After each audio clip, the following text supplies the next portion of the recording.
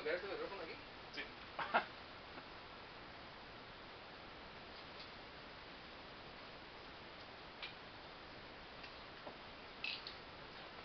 Aquí, así que se van a Houston.